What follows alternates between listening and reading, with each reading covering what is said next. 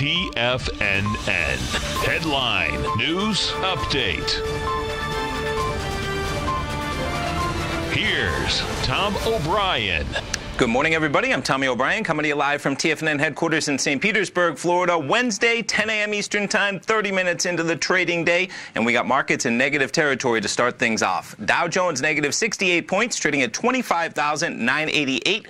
S&P's negative by four, trading at 2787, and you've got the Nasdaq negative 24 points, trading at 7525.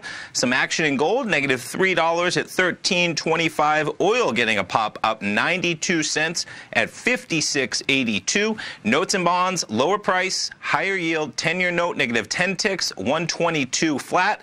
30-year bond negative almost a full point, negative 29 ticks, trading at 145.29. Dollar index up 55 ticks at 95.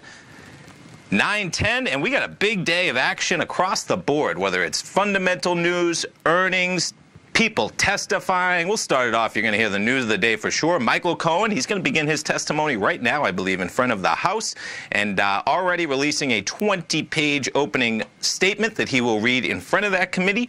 There'll be headlines coming out of that, I'm sure, as they start asking questions.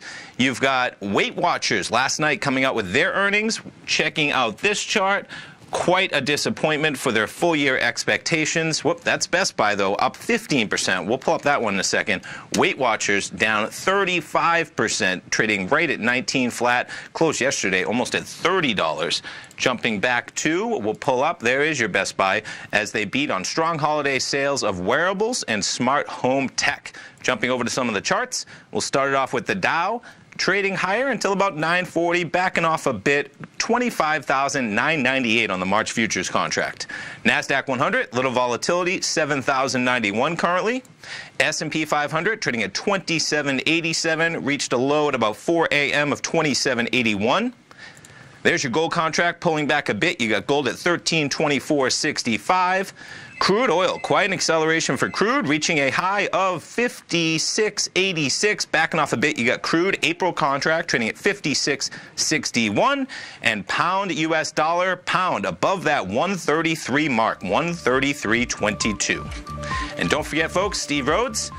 Tonight, 5 o'clock Eastern Time, he'll be in there with subscribers of Mastering Probability, Overcoming Fear in Trading and Investing in Five Easy Steps. Check that out on the front page at TFNN.com. Subscribe today. You'll be in there at 5 o'clock. Stay tuned. Come back at 10 o'clock with Tom. We got oil inventory at 10.30 as well. Stay tuned, folks. Have a great Wednesday.